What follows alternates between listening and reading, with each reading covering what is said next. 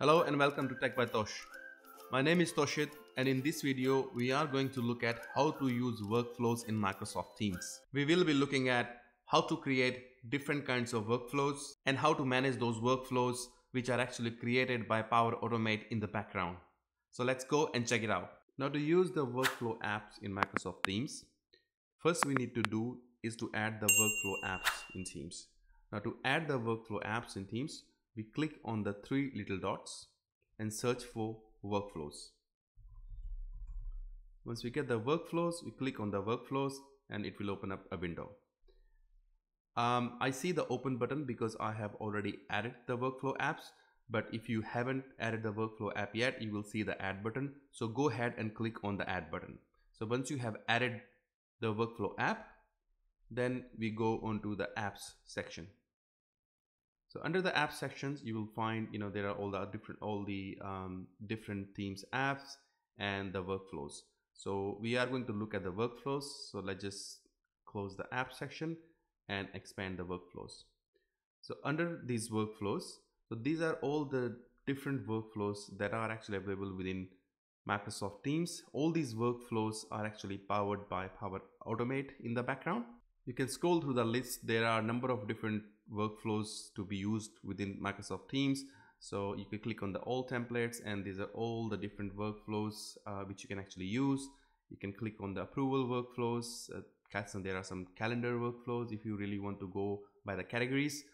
Um, my favorite one is editor picks. So under that, these are most of the you know popular kind of workflows which we can actually use day to day. But feel free to go ahead and you know look at the all the other different workflows which are actually available with Microsoft Teams. My favorite one is basically save a message to OneNote. I personally work quite a lot in Microsoft OneNote and in Teams and sometimes you know I really want to save a message directly from my chat windows or you know from shared channels to Microsoft OneNote. So this is quite handy and you know could be quite useful. So let's try to use this workflow. So let's just click on this and we want to use this workflow. So it will ask us for some details. So it'll ask us for a name so i'm happy with the name. And just click sign in which will sign in into microsoft teams onenote and office 365 users.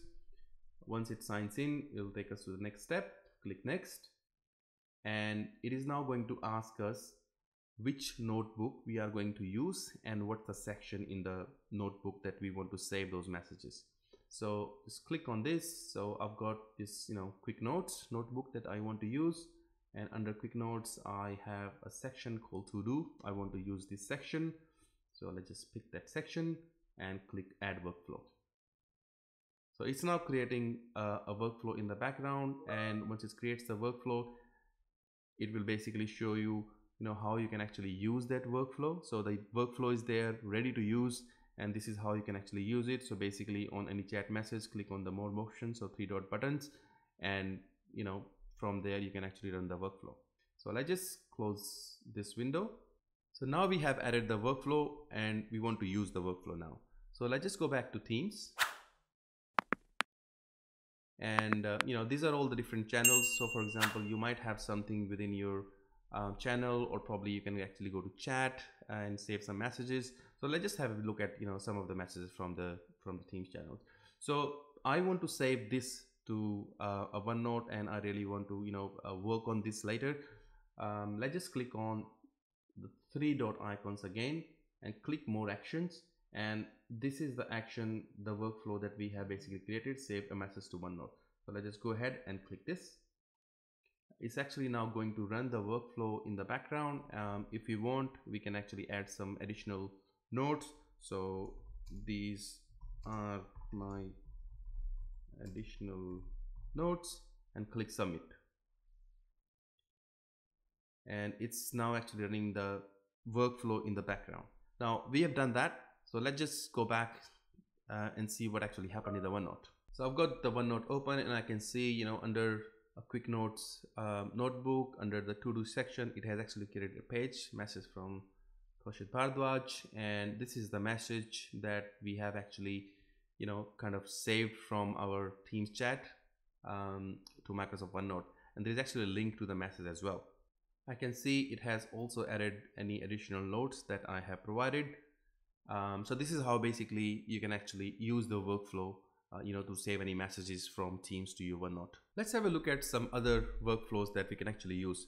So we'll go back to teams. And obviously under workflows let's just try to pick something else as well. Um, schedule a reply. This is a really good one you know. If you really want to schedule a reply to a, a particular message or maybe you know uh, you just want to show that you're working very late or very early in the morning um, you know based on your requirements uh, you can actually schedule a reply. So what this will do is you pick the dates and time and this will post a message uh, or reply to a message within Microsoft Teams. So let's see how this one works. So we're happy with the name and then we click sign in again. Um, after we've done that um, so let's just add the workflow. So it's now adding the workflow getting it ready for us. Again this will show you how you can actually run the workflow.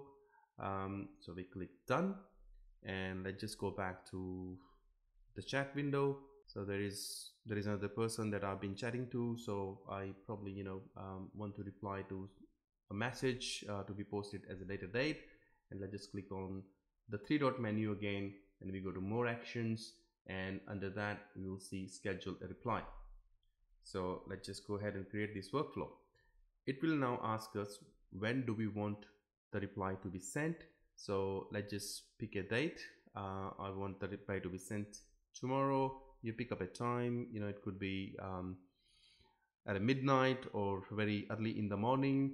Um, so you pick the time, for example, it's 3.30 a.m. in the morning. And this is a message that you really want to send or reply. So let's just put the message in. Um, you have an option to notify yourself when the message is posted um, I want to do that as well so let's just tick that option and click submit so what this will do is it will basically post the message uh, a reply to this message you know um, 3:30 a.m. in the morning and people might think it you're basically working very early in the morning. Um, so you know that's how you can actually create all these workflows. So if I go back to the workflows apps you know there are really some cool workflows that you can actually use. So let's just go back to the editor picks again you know um, there are some other workflows if you really want to create some planner tasks. Um, you know this is about a planner task and you can actually create a google task from a message. So there are a number of different options. Uh, you know you don't have to code anything. So let's jump and have a look you know what is actually happening. Uh, what if you want to you know switch off some of the workflows and how you actually manage those workflows? Let's click on the three dot actions again and type power automate. I know i've got power automate uh, at the top but you know if you search for it uh, you will find the power automate and click on power automate so all these workflows are actually managed through power automate um, in the background and we will see a list of all these workflows listed within this section. Um, you can go through you know through searching power automate or you can also click on apps and obviously click on the workflows and you know you can click on the manage workflows to go to that power automate section. So on this power automate section you can see we have created two workflows the workflows are there. That's the status of the workflows you know it's on it's working and you know when they were modified and what's the type and you know what they are actually related to. Um, you can actually switch off some of the workflows if you really don't want them. Um, and if you want to create a new workflow you can create a new power automate workflow. Uh, we're not going to do that. Uh, but you know feel free to go ahead and you know try creating the power automate workflows uh, from this just click on home. So you know if you click on um, one of the workflows for example let's just say what happened to this workflow let's click on save a message to OneNote and the power one automate.